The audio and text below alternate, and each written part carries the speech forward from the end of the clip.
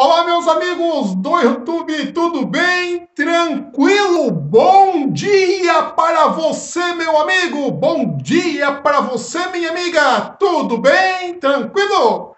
Muito bem, olha, este é um momento com Deus, uma pequena meditação bíblica, tá? Para você começar o dia com Deus Pai, Deus Filho e Deus Espírito Santo, tá ok? E olha, antes da mensagem, não esqueça, nós temos o curso bíblico, tá? Um curso bíblico do Apocalipse, curso bíblico para crianças, para jovens, adolescentes, juvenis, várias fases da vida da pessoa. Nós temos cursos bíblicos, são vários.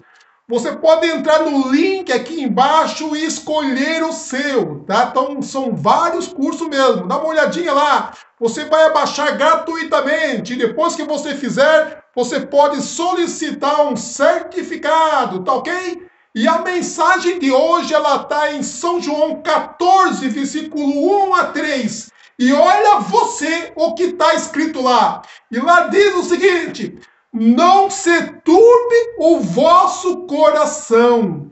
Credes em Deus, crede também em mim. Na casa do meu pai há muitas moradas. Se assim não fosse, eu vou teria dito. Mas eu vou vos preparar lugar. E quando eu for e vos preparar lugar, voltarei e vos receberei para mim mesmo para que onde eu estou estejai vós também.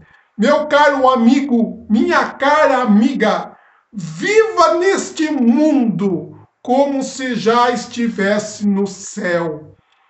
Quando você passar por diversas dificuldades em sua vida, você não esqueça que um dia tudo isso vai passar o nosso Deus está preparando um lugar maravilhoso para nos receber. E esta é uma grande recompensa. Nós olharmos para o céu, para as coisas celestiais, porque o que Deus promete para nós são coisas que o olho não viu, o ouvido não ouviu, é o que ele tem preparado para a nossa vida. Não pense que você será somente abençoado por Deus, protegido por Ele aqui na terra. Ele tem coisas maravilhosas para você, tá certo?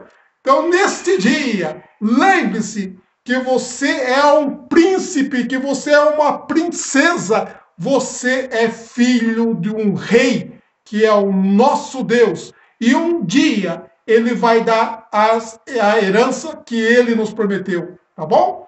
Bom dia para você. Que Deus te abençoe. Olhos nas coisas lá dos céus, nas coisas externas, eternas, que essas ficarão para sempre, tá bom?